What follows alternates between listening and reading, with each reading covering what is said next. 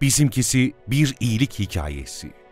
İçinde zor günlerde yolu gözlenenler, ummadık anda gelenler, mutluluklar ve beklenenler.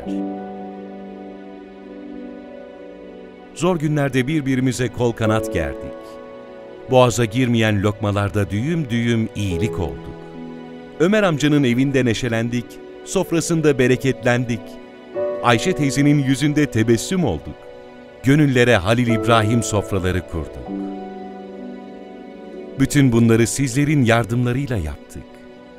Haydi, sen de kardeşimin yanındayım diyorsan, yardım yazıp 5601'e SMS göndererek ülkemizdeki ihtiyaç sahiplerinin aynı ve nakdi ihtiyaçlarını giderebilirsin.